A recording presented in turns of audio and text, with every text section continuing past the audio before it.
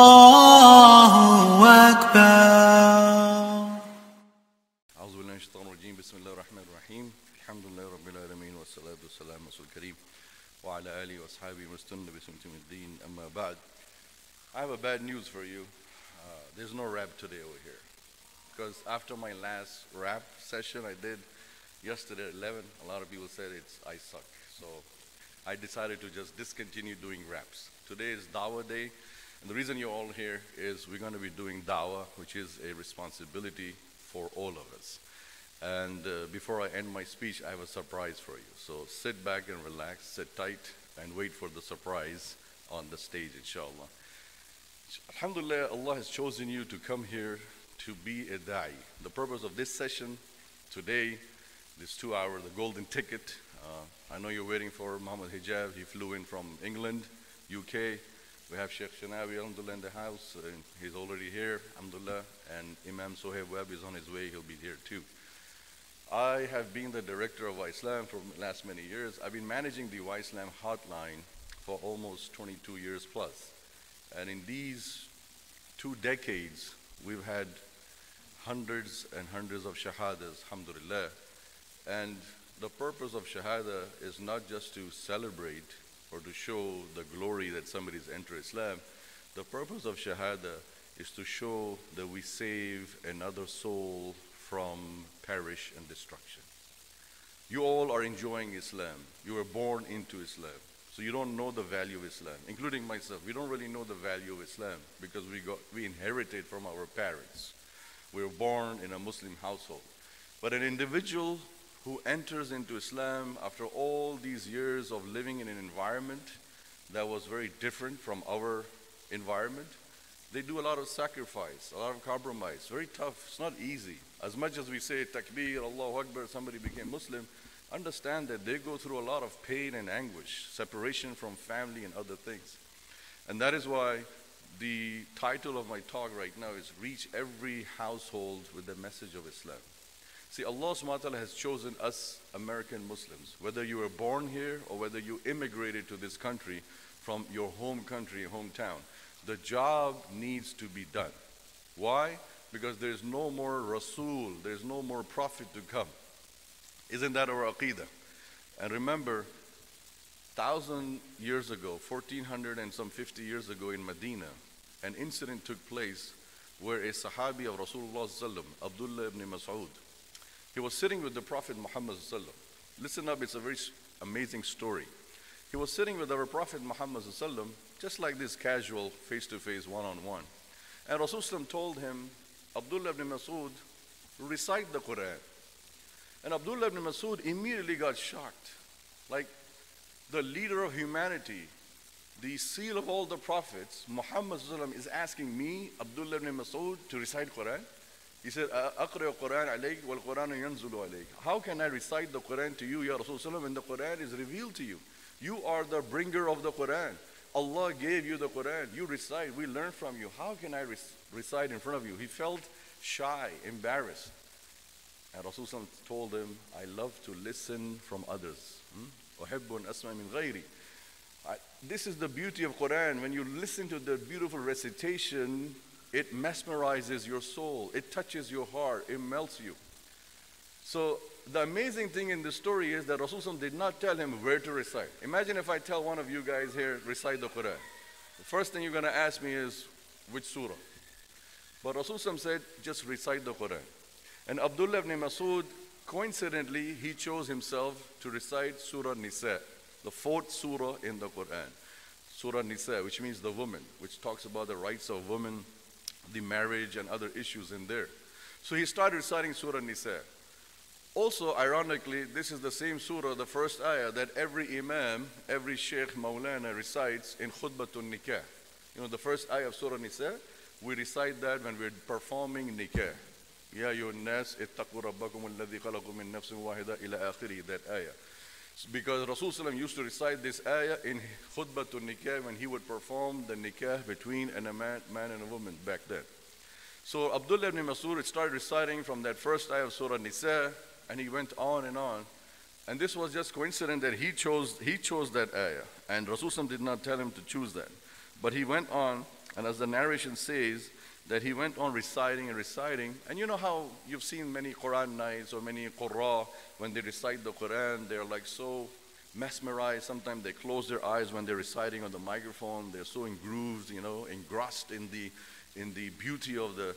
So he was reciting, he was not looking at Rasulullah. And when he reached ayah number 41 in Surah Nisa, when he reached this ayah, um, he heard Rasulullah say, Hasbuk, Hasbuk, Hasbuk, which in Arabic means sufficient, sufficient, meaning enough, enough. You're reciting from ayah number 1, ayah 41, he stopped. So Abdullah ibn Masud says that, lo behold, when I look up, because he was reciting probably there, when I look up, I see Rasulullah crying profusely. His beard is wet. And he was shocked. What did I do? I hope I didn't hurt. I didn't do recite something wrong. I mean, he's feeling scared and fearful that perhaps I did something, I messed up in the recitation, and Rasulullah is crying. And you know, he, he, he is worried. He asks Rasulullah, then why are you crying?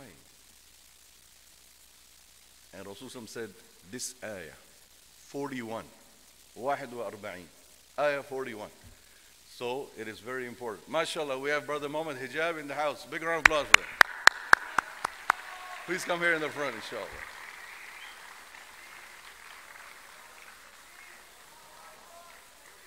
They don't want to listen to me. They want to listen to you. So I know I'm the bone in the contention.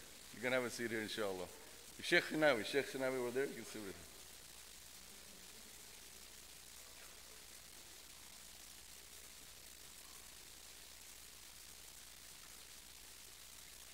So, what is in ayah number 41 in Surah Nisa that made my and your and our beloved Prophet Muhammad sallallahu alaihi wasallam cry? Think about it and I recite. Abdullah ibn Masud says, when I reached this ayah, Rasulullah told me, enough, enough, stop. And when I raise my head and I see Rasulullah, he's crying profusely, the beard is wet. And when you look at this ayah, when you read the meanings of the words in this ayah, it tantalizes your soul. It sends a chill down your spine. It literally shakes you and shivers you the gravity of situation that we have to realize. Listen to what Allah is saying in Surah Nisa, verse 41, which made our beloved Prophet Muhammad cry Because there's a message in it for all the believers and especially the American Muslims living in America or the Muslims living in the West, there's a special message from our beloved Prophet Muhammad in this ayah. Allah says in this ayah 41 in Surah Nisa, فَكَيْفَ إِذَا جِئْنَا مِنْ كُلِّ أُمَّةٍ بِشَهِيدٍ وَجِئْنَا بِكَ عَلَى هَؤُلَاءِ شَهِيدًا so Allah is addressing Muhammad in this ayah and saying, How will it be, O Prophet Muhammad when we bring from every ummah a shaheed, a witness, a witness from every ummah on Yom Al Qiyamah that did you deliver the message of Allah? Did you tell the people of Allah? Did you tell the people about your Creator? Did you tell the people about your Lord? Every ummah will be coming with the shaheed. And Allah says, وَجَعْنَا بِكَ Bika means bi anta ya Muhammad sallallahu Allah is saying, I will bring you, O Muhammad sallallahu on Yom al Qiyamah, put you in front of all the people on Yom al Qiyamah, where there are zillions and zillions of people, not billions, not trillions, but zillions of people on Yom al Qiyamah standing right there, and Muhammad sallallahu is brought by Rasulullah and say, You are a witness to mankind. وَجِئْنَا بِكَ عَلَى هَؤُلَاءِ شَهِيدًا That responsibility and burden on the shoulders of Rasulullah made him cry that how far will my message go? Uh, he knew that he's going to die. He knew he's going to leave this world. But how will La ilaha illallah Muhammad Rasulullah reach to the people far and wide and beyond and until Yom al Qiyamah? 1455 years have gone, or 60 years have gone in, in, since his message has come to the world, and we're still here standing on earth, and there's more than 6 billion people who don't believe in Muhammad. What are we doing? Are we sleeping? in Hajjatul Wada, in the farewell Hajj, Rasulullah in his khutbatul Hajj, he told the people over there sitting that لِيُبَلِّغَ الشَّاهِدْ الْغَائِبِ Let the people who are present بَلِّغ الْغَائِبِ Let them inform about La ilaha illallah to those who are ghaib, who are absent. From that Hajjatul Wada until now, 1443 Hijri, me and you, we've been learning La ilaha illallah from one generation to another, to another, to another. Your grandfather told your father, your father told you, you're going to tell your son, and your son is going to tell their, his son, your grandson, and generations to come. This line will continue that no O son and daughter, know that your Prophet is Muhammad. Know that your Lord is none other but Allah Jalla Jalaluhu Amma Nawal. يبلغ الشاهد الغائب. And that's why in Hajjatul Wada, when he finished the khutbah, Rasulullah asked the people, and he asked them that, Hala ballaghta, did I deliver the message? They all said, قالوا بلى يا رسول الله. Again he said, Hala ballaghta. Did I deliver the message to you, O people, the Sahaba, my companions? And they all said together, Bala ya Rasulullah. Again, for the third time, he said, Ala ballaghta. and again, they all said in unison, Bala ya Rasulullah. Yes, yes, yes, you have delivered the message. Immediately then Rasulullah pointed up to the sky, Allahumma fashhad, Allahumma fashhad, Allahumma fashhad. Just visualize that dramatic scene. It's Mecca. It's Hajjatul Wada. And Rasulullah is saying, Ya Allah, be witness. Ya Allah, be my witness. Ya Allah, be my witness that I have delivered the message to the people. But who's going to tell the people of this land, United States of America? There is no more prophet to come. The Sahaba Kiram, Ridwan Ajmain, the companions of the Prophet are all dead in their graves. None of them are going to come back from their graves. Hey, let me take a ticket to New York City, just like Muhammad Hijab took a to New York City to go tell people. Let me take a ticket to Miami or Los Angeles or Seattle because I got to go tell people about my companion, my Prophet Muhammad. None of, no one is coming. So now you know why you are in America. You're not here to just have fun and enjoy. You are here for a reason and a purpose to deliver the message, La ilaha illallah, to far and wide, to all the people. We are not missionaries. We don't proselytize. We just deliver the message. We just say what Allah has asked us to say in the Quran. And that is why Allah said to Rasulullah that بلغ ما أنزل إليك يا أيها الرسول يا أيها الرسول this is Surah Ma'idah ayah يا أيها الرسول بلغ ما أنزل إليك O Prophet of Allah deliver. Balligh, ibla, tabligh means deliver, inform, educate the people what has been revealed to you. فَإِن لَمْ What's that? فَإِن لَمْ فَإِن لَمْ uh, I forget. فَمَا بَلَّغْتَ رِسَالَةً The end of the ayah is that if you do not deliver the message, then you have not. We are the followers of Muhammad Sallam. We have taken an oath. Do you know that? Whether you realize that or not, the moment you say Ashhadu an la ilaha illallah, Ashhadu anna Rasulullah, you have taken a qasam, an oath with our beloved Prophet Muhammad sallam that I will inform others and people about you, Ya Rasul sallam. Allah said about this in the Quran. You know the biggest misconception people have in the world, oh Muhammad sallam is a prophet for the Arabs. Oh, Muhammad is a prophet for the Asians. Oh, Muhammad is a prophet for Africans. Oh, Muhammad is a prophet just for Muslims. He's not a prophet for other people khata, wrong. Memorize this ayah and memorize it clearly in your mind. Surah A'raf, Surah 7, verse 158, where Allah declares a mission statement. Allah gives a clear definition of who Muhammad is. Listen up. Allah says, قُلْ يَا أَيُّهَا النَّاسِ we know in the ajaz of the Quran that here the khitab is for Rasulullah. Every time the ayah starts with qul, it means Allah is ordering Muhammad to say.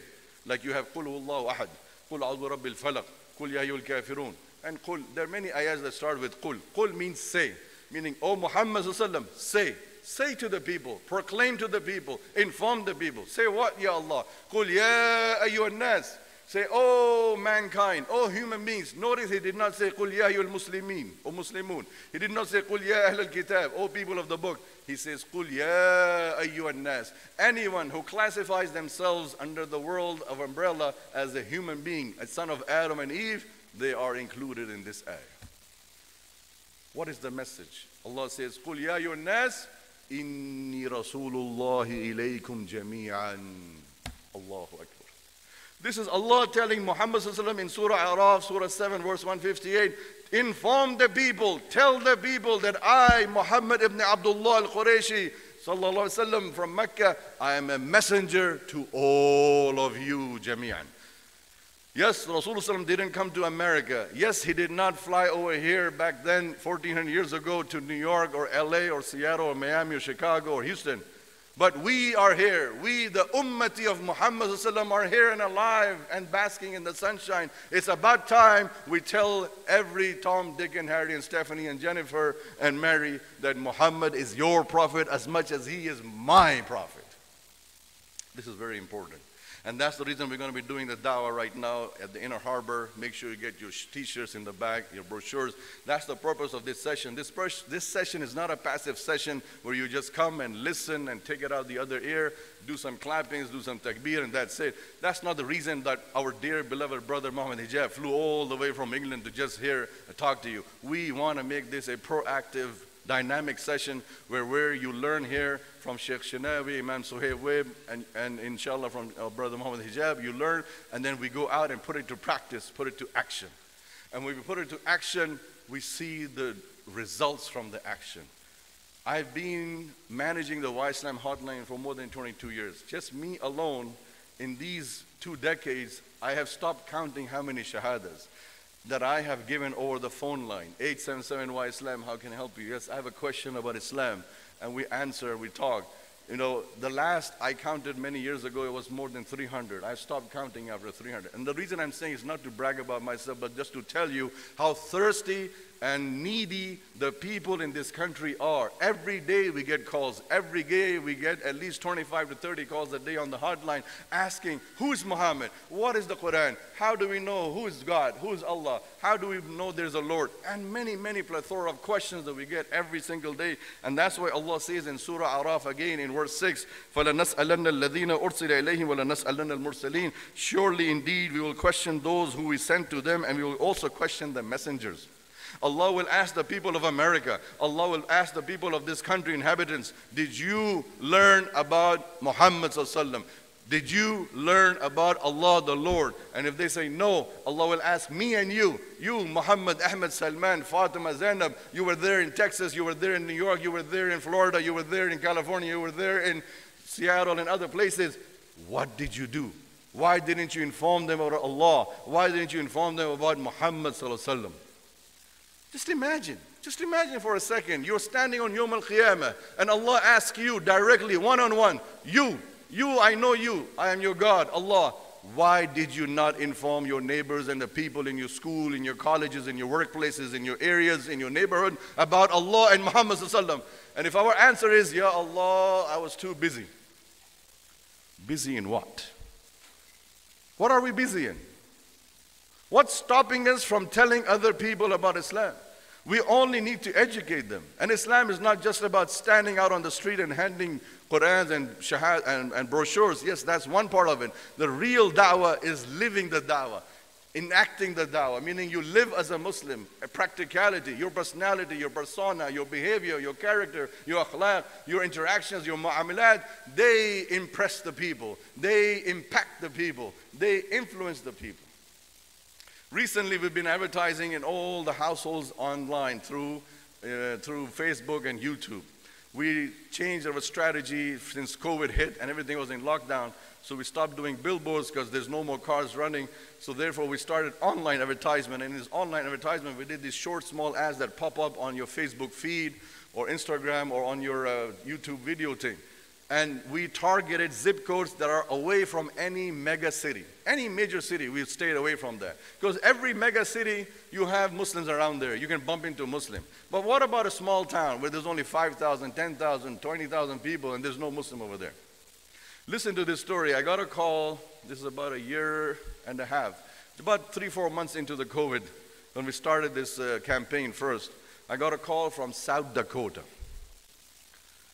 I don't want to mention the name for confidentiality, but this, this person, this brother, 79 years old, a war veteran from the Iraq War back in the Gulf War in 1990. 79 year old, he called. And I answered, Thank you for calling 877 WhyIslam. How can I help you? This is Ahmed speaking. Yes, sir, I have a question about the Quran. Right? How did you learn about us? Oh, I was going through my Facebook and I saw I can get a Quran. Sure. Long story short, we continued talking for almost an hour. After an hour, he started burst into cry, just crying, sobbing. I got scared. I said, "Excuse me, sir. I'm really sorry. Apologize. Did I hurt you? Did I say something wrong? Please forgive me." And he gathered his emotionality. He said, "No, no, no, no, no. It's nothing against you, sir. Nothing." I said, "Okay. Can I help you with something? What happened?" He sighed and he said, You know, Mr. Ahmed, I am 79 years old, living here in South Dakota. There's not a single mosque here, there's not a single Muslim here in my town. Today, I just opened my Facebook feed, and after talking to you, Mr. Ahmed, I found God.